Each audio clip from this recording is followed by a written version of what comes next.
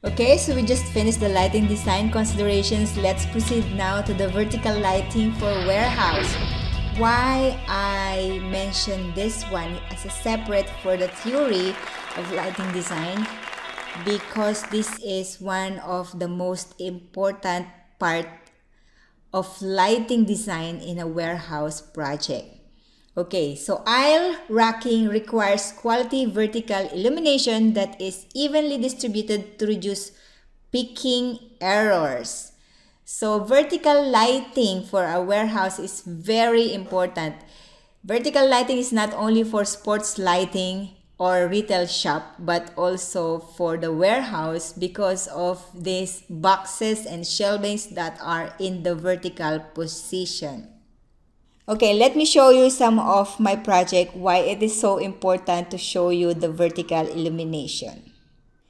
Okay, so I have two projects here opened right now. So for an, a warehouse that is very small and doesn't have racks, there is no problem about the vertical because yeah, there is nothing to be highlighted. There is no shelvings to look up. And so this one is okay. So no problem with this one.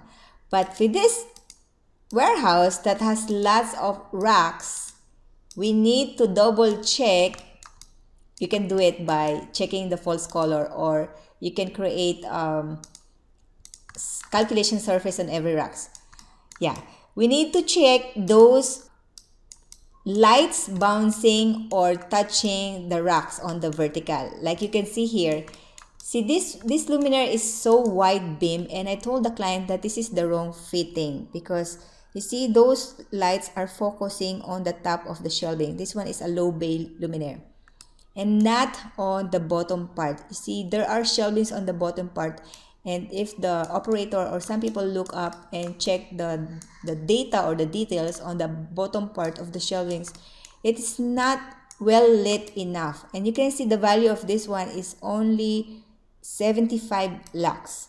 Okay, you might think 75 lux is enough for you to read, but then, but if it's, if um, the products in that shelves are small stuff, then uh, you may ask for more light.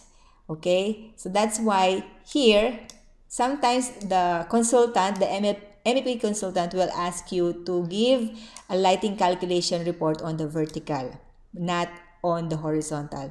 They are more concerned on the vertical, especially if the warehouse has 10 to 12 meters racking system. They are into vertical, not into horizontal. Okay, so that's why the lighting design for a warehouse is a little challenging in terms of techn technicalities, not in artis artistic way or architectural way. All right, so See this one, focus on this one, it's 300 lux and then 200 lux here. This one is 100 lux. This is okay for an alley, but this one, it's a no-no. Yeah, it will not be approved. Okay, so that's why the vertical lighting for a warehouse is very important. So this one, I added the, the optics, the beam optics of one fitting. And you can see this is 60 degree beam, uh, beam 60 degree beam angle and it is applicable for a narrow alley or a narrow corridor racking system. The other one, which is the 90 degrees, yes, it's very good for a wider alley racking system. And if it's 120 degrees, I think the one I showed you is 120 degrees, then it's perfect for the distance of maybe 5 meters or more alley or corridor on the racking system. Later on, we will discuss also the types of the luminaire, if it's for a high bay or a low bay, because sometimes you don't need to put the luminaire on the highest part of the roof.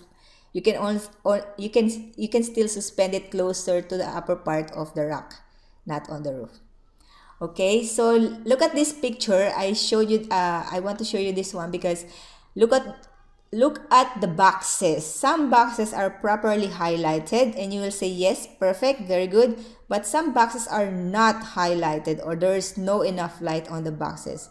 This is the very poor lighting design for a warehouse. And that's why I'm telling you that for a warehouse lighting design, go and check your vertical, not just horizontal.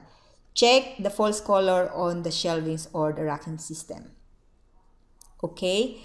This one actually is not acceptable. If you're re really a lighting designer, you might you can easily say that this is wrong. For the uh, for the open area, perfect. You can see there's enough light for the conveyor and everything, but for the vertical, it's wrong. Okay, next time or later on, we will discuss on how to do that in lighting design calculation and I will show you how to do it properly using the proper spacing of the luminaire and selecting the proper optic. Okay, and also there are some lighting design uh, lux level requirements for a vertical and I will also tell you that one later on. Okay, so see you again on the next lecture.